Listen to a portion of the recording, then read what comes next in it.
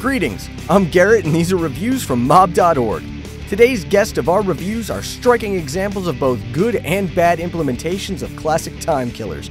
Welcome, Zombie Ragdoll arcade game, stylish puzzle Dots, and the slasher Smash the Office.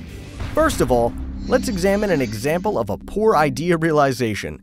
In Zombie Ragdoll arcade game, you are to literally use our favorite zombies as cannon fodder. The objective of the game is simple use elementary physics as a basis, and chop the poor zombies to pieces. Oh dear! I think the tossing of lively cannonballs and physics interaction has also reminded you of one very famous game about birds. But unlike the legendary Angry Birds game, this one has very poor realization. The game graphics are so clumsy that sometimes the animation is played incorrectly or there's no animation at all. On the whole, the game's zombie ragdoll looks like an immature beta version made offhand by a zombie. So, you might not want to download, or you might want to give it a shot. Now, let's have a good look at an example of a good realization. No, it's not the Lüscher color test and not the new twister on a tablet. This is the logic puzzle Dots, based on the good old idea of connect the dots. Such games have existed on the antediluvian cell phones.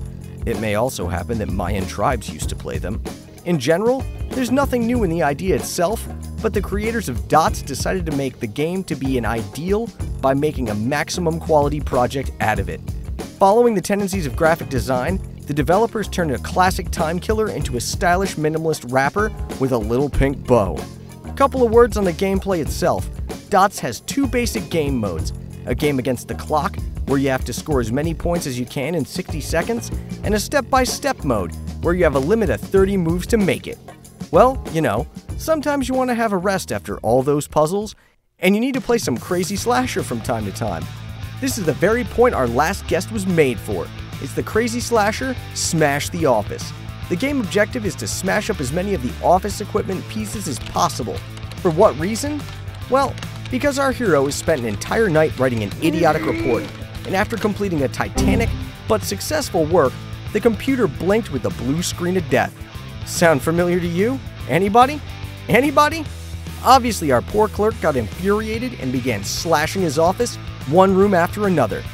Though our hero is a standard representative of office monkeys, he has a rather wide arsenal of tools for vandalism, such as a hammer, a fire axe, a spoon, and even a samurai katana. Besides, he finds different bonuses along the way, such as extra time, strike reinforcements, or a large stature caused by some particularly weird mushrooms.